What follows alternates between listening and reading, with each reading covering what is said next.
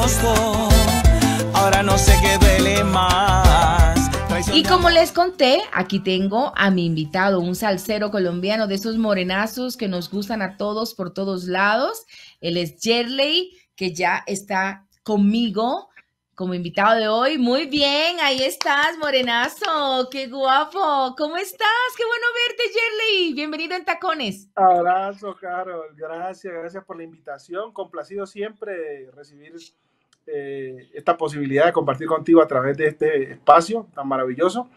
Y bueno, con todo el cariño del mundo siempre, haciendo salsa para la diversión de gente tan especial y hermosa como tú bello. Tú sabes que soy tu fan y ahora con esa nueva canción que estás lanzando, me falló. Cuéntame cómo es eso. Bueno, vamos a hablar un poco de todo. Tenemos unos minutos para que nuestra audiencia sepa un poco más de ti, los que no te conocen y los que te conocen lo disfruten al igual que yo. Esta nueva canción que estás promocionando, me falló. ¿Cómo llega a ti? ¿Cómo fue eso? Bueno, la canción, yo, yo soy un compositor eh, de esos que, que saca cosas a veces sin sin que las tenga premeditadas, ¿no? No fue un tema que yo dije voy a escribir acerca de esto, no. Me senté a escribir, llegó algo de la musa ahí, empecé a escribir y cuando me di cuenta estaba construyendo una historia un poco heavy. Yo creo que muchas de esas cosas salen producto de lo que nos toca ver a diario, ¿no? En el diario vivir que se encuentra uno tantas cosas. Y básicamente me falló relata eh, la historia de un hombre que tiene su pareja, que tiene su esposa, su novia desde hace mucho tiempo, pero también tiene esa mejor amiga esa panita de toda la vida, la parcerita, que terminan enredadas la novia y la amiga del tipo y lo sacan a él de la ecuación. Imagínate tú el dolor. No pesó mucho para el cuerpo, Jerry, pero dime que esa fue una historia prestada que no te pasó a ti en verdad, porque me da una cosa, me da un, un soponcio. No, gracias a Dios no es mi caso, gracias a Dios no es mi caso, pero sí el de muchas personas y además es una historia que está muy ligada a estas nuevas generaciones, ¿no? Eh, eh, está pasando mucho de eso, casi que con completa normalidad, pero en países eh, como Colombia, donde todavía el machismo aflora, cuando le sucede esto a un hombre, lo que entra es autocuestionar su varonilidad, ¿no? Su masculinidad. Sí, total. La gente se pregunta, ¿qué, fue lo que yo no, ¿qué fue lo que yo no hice? ¿Qué fue lo que yo no hice? ¿Por dónde fue que no anduve? Así mismo Eso es, cierto. eso es cierto, eso es cierto. Pero lo que te estás diciendo es muy cierto. En, en las nuevas generaciones, ese tipo de las relaciones, no niña, niño, niño, niño, está como muy así, como que el amor no tiene sexo, ni edad, ni condición, y hagámosle chévere. Pues esa es una manera de vivir y tenemos que respetarla. Nosotros teníamos la generación mía otra manera de vivir. Yo te llevo un par de años a ti, yo creo. Pero libre, cada quien vive el amor como puede, ¿no? Y como quiere. Sí, en últimas, mira, la realidad es que todos somos individuos que debemos asumir la responsabilidad de nuestros actos. Cada quien decide lo que hace, cómo lo hace, cuándo lo hace y con quién. Es su responsabilidad y según lo que cada quien haga, pues así mismo asumirá las consecuencias de lo que está haciendo, ¿no? Así mismo. mira, un poquito de, historia. Totalmente. Un poquito de historia para nuestra audiencia que de pronto no conozca tu trayectoria. Ya llevas mucho tiempo en la música, eres de Puerto Tejada, ya en Cauca, cerquita al Valle del Cauca y cerquita a Cali, la capital mundial de la salsa, con esa sabrosura. Dime que no. Correcto. Sí, claro que sí, cerquita de Cali. Ya más de 20 años haciendo salsa, fui cantante de La Fuga, eh, de Sandunga, de la Suprema Corte como seis años, Bronco de Venezuela. Eh, mi primer álbum salió en el año 2006 eh, y conté pues con el respaldo de siempre mi productor musical Andrés Gómez, que ha estado allí. Un álbum de 12 tracks donde sonaron un par de canciones bien. En esa época ya no tengo nada y estás dejando de amarme. Posterior a ese salió el segundo álbum fue 2010.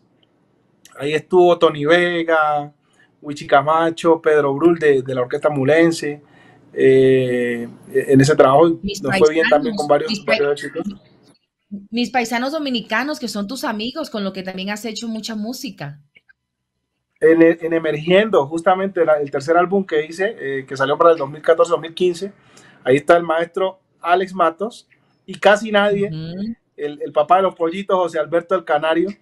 Imagínate tú, aparte, a quien tanto amamos. aparte el maestro Andy Montañez. Y ahí menos También con el maestro Andy Montañez. participando. Ah, sí, hiciste una con el maestro Andy Montañez. Viola. Ay, con Aime Luviola. Ah, claro que sí. No, es que tú has tenido mucho respaldo, es decir, pero lo que yo entiendo también, Jerry, es que tú, tú desde el primer momento quisiste lanzarte como solista. Es decir, tú no, eh, tu plan siempre fue eso, ser un salsero solista, armar tu combo, tu equipo y, pues los, lo ha ido, los ha ido construyendo durante todos estos años. Muy valiente tú, Jerry. Correcto. Sí, mi abuelito que siempre decía que, que, que sociedad ni con la cobija, decía todo el tiempo, y que, que empleado no tiene futuro. A toda hora me mantenía sembrando eso en la cabeza. Eh, pues yo crecí muy a la sombra de, de mis abuelos maternos y entonces claro, cuando, cuando tuve ya la oportunidad de entrar en el mundo musical, entré con esa proyección de que pasaba por varias agrupaciones como parte de mi proceso de crecimiento, más no como una, como una meta de, llegada, ¿no? E, era simplemente un paso transitorio que tenía que dar para el aprendizaje, fortalecimiento, conocimiento y luego poder arrancar mi proceso en solo, que hasta ahora, eh, a pesar de las dificultades, ha sido muy gratificante porque he tenido muchísimas bendiciones, he conocido gente maravillosa, eh, que ha respaldado mi proceso. Imagínate en ese álbum tener a Jerry Rivas, cantante del Gran Combo de Puerto Rico, y a Wichi Camacho haciendo coros en un álbum mío. Es un privilegio, una bendición de Dios, definitivamente. Sí, así es. Yo creo que con tu gracia y tu educación has logrado conquistar muchos corazones, no solo del público que consume la salsa, como nosotros, como yo, por ejemplo, sino también del, de, los maestros, ¿no? De la gente que te ve y ve ese swing que tienes, esa manera de ser.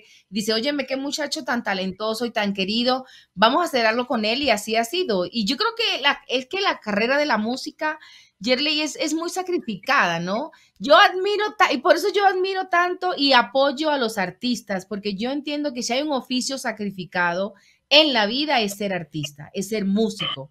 Yo lo veo a la distancia. Me hubiese gustado ser músico, pero yo no toco ni el timbre, pero, pero yo lo veo, con, lo veo como con ese esfuerzo que toca hacerle todos los días y buscar la manera.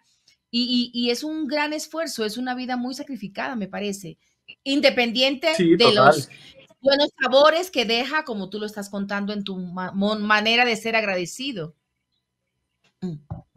Sí, completamente de acuerdo. Es, una cuestión de, ser coherentes, ¿no? En últimas y maduros en medio de todo. Yo tengo una formación que, pues ligada justamente a mis abuelos maternos, fue muy en el campo.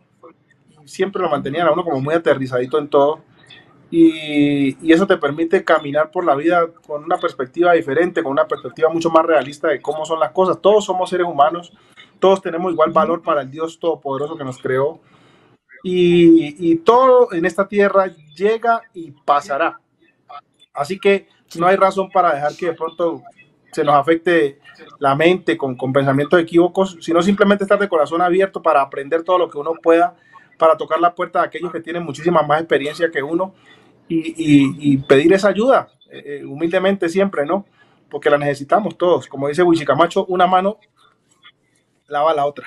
Yerle, te mando un fuerte abrazo, te quiero mucho, muchos éxitos, que ese 2023 también sea maravilloso para ti y seguimos en contacto. Ya sabes que Tacones Televisión es tuyo. Besos para ti. Carito, un abrazote para ti, Dios te bendiga, gracias por la invitación y nos vemos pronto, Dios mediante. Sí, señor. Jerry, el salsero, uno de los salseros guapos de Colombia con nosotros hoy en Tacones Televisión. Ya nos vemos. Ahora ya no podré confiar en quien a mí pueda llegar.